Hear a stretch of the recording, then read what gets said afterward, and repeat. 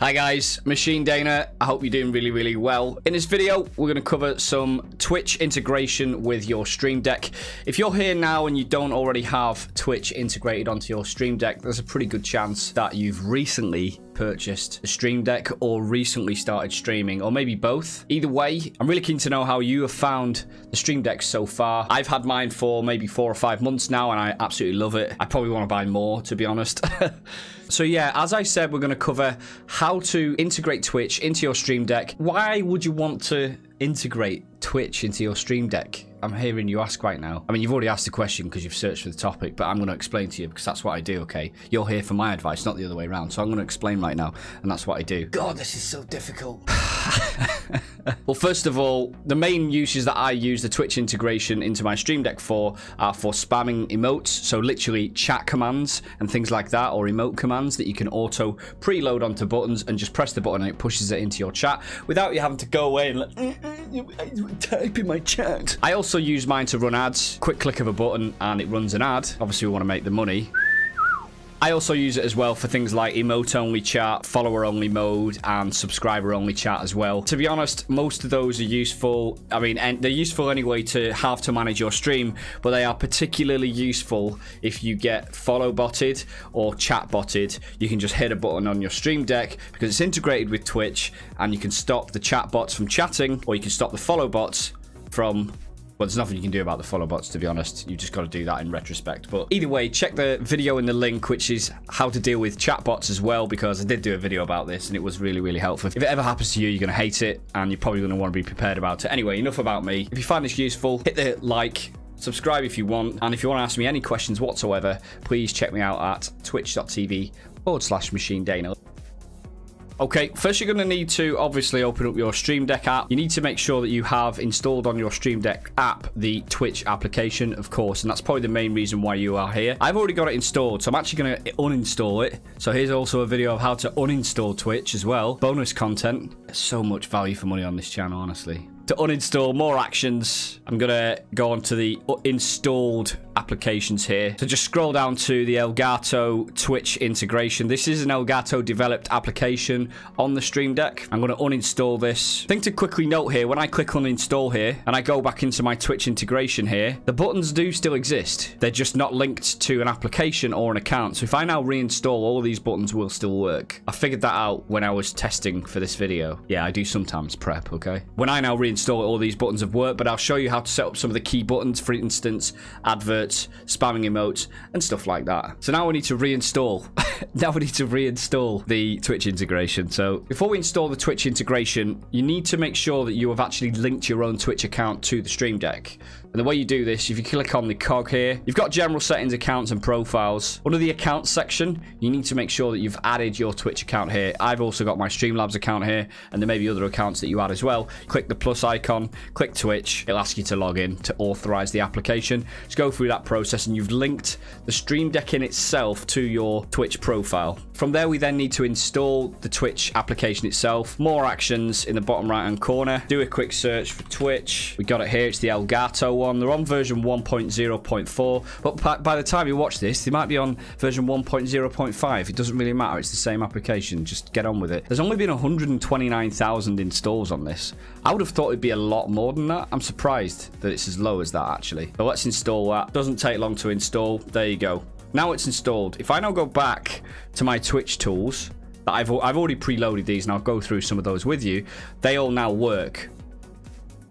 So all I've done here is open up my own chat here. If I just spam the girth emote, for example, it'll come up in chat. You can't see it because my camera's in the way, so I'm just going to keep spamming different emotes until you see them. There you go all I'm doing here is pressing these buttons here and it'll spam those and I'll show you how to set them up but I now know that this is working so that's just a quick way of testing it if you've already got buttons set up and for, for whatever reason if you need to uninstall and then reinstall it so now you've got your Twitch profile linked to the Elgato Stream Deck you've got the Twitch application installed Wonderful, you're most of the way there. Now all you got to do is set up your buttons, and it's as simple as that. You can get rolling with this. So I'm going to go through some key things here. Now, first of all, you'll note down the side here, these are all the different applications nested under the Twitch application. You can click the top right hand corner here and reorder these. For instance, if I wanted to put the Twitch integration to the very top, I'm not going to do that because it's then in the way. So I'm just going to move it down here. We're going to drag in a chat message. It gives it a standard button, which is a kind of a purple button. You can change this with the down icon set from file or whatever. Give the button a title if you want. For instance, emote one, very original. You select the account. If you've got multiple accounts, you can have emotes from different accounts on this. I don't know why I would have that, but fine. Doesn't really matter. And of course, this doesn't actually have to be just your emotes. It can be any text whatsoever or anyone's emotes. The trick here is it's coming from your account. So if you want to use someone else's emotes, you do need to be subscribed to them. I think that's probably quite obvious. But if it's not working, don't drop comments on below and say, why is the emotes not working? If you're not subscribed to the channel, it's pretty obvious that you should be at least subscribed to the channel. Support your fellow streamers if you're going to spam their emotes emotes, right? Okay. And also sub to my channel as well. Tier 3. Actually, tier 4. Sub to me on tier 4, okay? So all you do here is select the account that you want to send the message from. In my case, I'm going to send it from my Machine Daena Twitch account. And then you type the emote here. For instance, lul, lul, lul.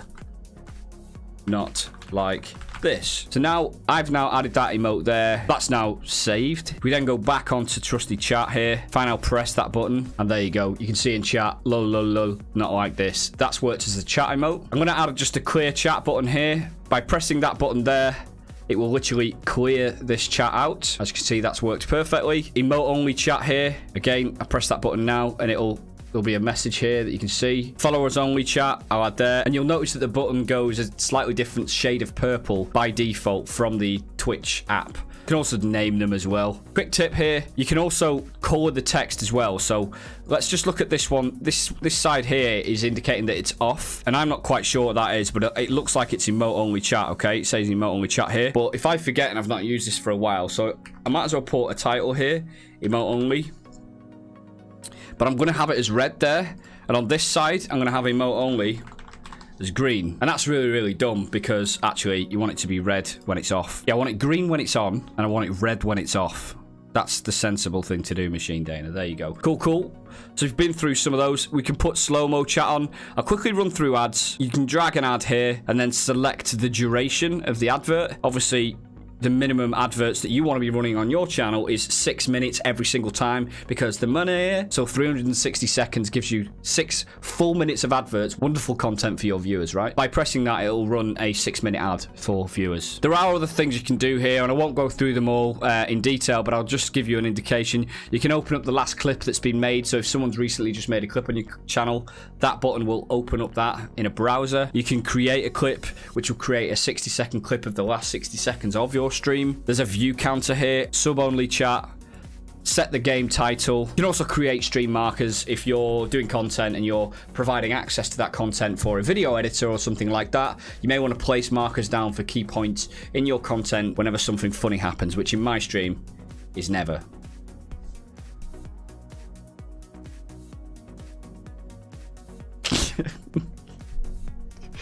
I'd literally never use that one though. I'm not even joking there. Oh my god. Just one last extra tip here. You can have a folder as well by um, right clicking and create folder. That can just allow you to have more space to then have like a number of different reactions. For me, for example, if I wanted to spam the PogChamps, but I don't want that on the main page because these are fairly standard Twitch emotes, I can place them in here. You can also have default commands in here as well. Again, this would be a chat message. I always on my stream have a today command, which tells people what's happening on the stream today. And I set that up in Streamlabs. So I have a command which is called today. So it's easy for me to just have that here. If anyone says what what's happening today, what games are you playing, I can just go, you know what, I'm a pro streamer. I'm not even going to answer that question. I'm just going to press a button and then you're going to be told it. And you're going to look like a pro or very, very ignorant, depending on how you look at it. So I'll just keep spamming that so you can see exactly what that looks like. And of course, it's on cooldown, so you can't even see what I'm going to be playing today. So there you go. So there you have it. Really quick and easy ways to integrate Twitch to your Stream Deck, how to make the best of the buttons, the different things you can do with the Twitch integration on the Elgato Stream Deck.